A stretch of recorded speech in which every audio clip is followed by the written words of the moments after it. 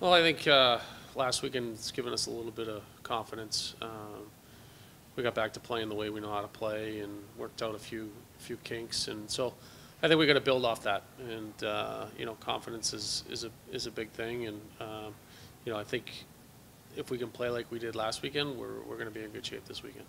Yeah, I think our effort needs to be better than last time we played them. Um, you know, we got to get we got to get to the net. We got to get to the front of the net. Uh, we need to just compete in all three zones, and you know, if we can do that, and we're moving our feet and we're executing, you know, I, I like our chances. But if we're going to go through the motions and and um, you know, and not compete and not do the things that we talk about, uh, you know, it's going to be it's going to be a tough game to win.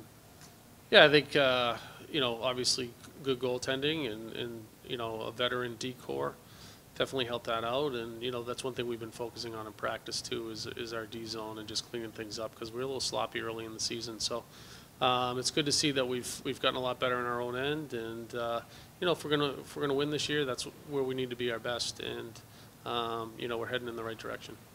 Yeah, you gotta, I mean, it's, it's, it's about compete level and, and working hard because that's what they do. They have, you know, they have four lines that'll that'll work hard. They got big, strong D. They got good goaltending. So, you know, you you, you can't take a night off against them. And uh, they got some players that can that can make you pay. And um, you know, it's always it's always a challenge every time we play them.